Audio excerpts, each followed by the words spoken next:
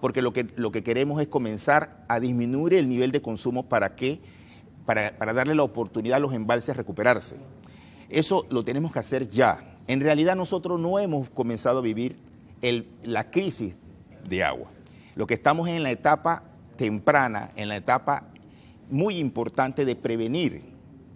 El, el, es un tema difícil. El, casi Yo creo que lo más importante, me da la impresión, don Jesús Arrocha, es que el IDAN nos debe comenzar a decir a los panameños la mecánica. La mecánica. La mecánica del ahorro, que ya va más allá de cerrar el grifo. ¿Cómo no? Que de revisar el inodoro, sino ya la misma mecánica hay que hacer, porque por lo que estoy escuchando, y usted nos lo está reiterando, nos va a venir una etapa seca, dura, muy dura, para la cual tenemos que estar muy preparados. Mientras eso ocurre, también ustedes están tratando de modificar alguna estructura legal Sí. para el cobro.